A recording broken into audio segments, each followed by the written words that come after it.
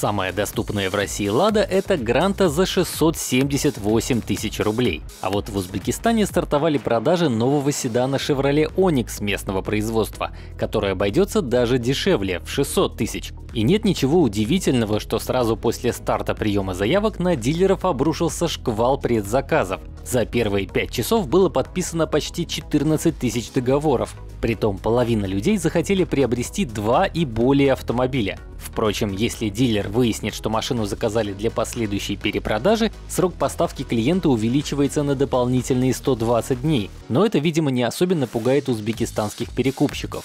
Сам Chevrolet Onix — это одноклассник Шкоды Rapid и Kia Rio. В его базовую комплектацию включены фронтальные подушки безопасности, а также антиблокировочная и противозаносная системы. Но такие автомобили появятся позже. А сейчас роль стартовой играет версия за 153 миллиона суммов или 835 тысяч рублей. Она дополнительно предлагает сигнализацию, кондиционер, регулируемую рулевую колонку и электрорегулировку боковых зеркал. Большинству комплектаций полагается 90-сильный атмосферник объемом 1,2 литра и механическая пятиступенчатая коробка. И лишь топовое исполнение получит связку из турбомотора и автомата. Серийное производство новинки стартует на заводе Auto Motors лишь через 3 месяца. Это будет процесс полного цикла со сваркой кузовов и сборкой двигателей. Вот только россияне этот автомобиль скорее всего не увидят, ведь General Motors наложил строжайший запрет на отгрузки машин нашим дилерам. Его нарушение грозит остановкой конвейера.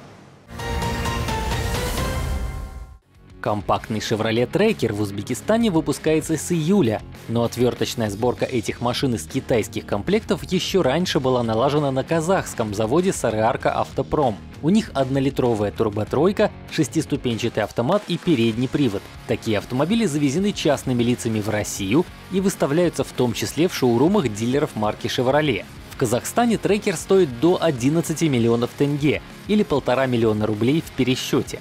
Российские же продавцы просят от миллиона шестисот до 2 миллионов 200 тысяч рублей.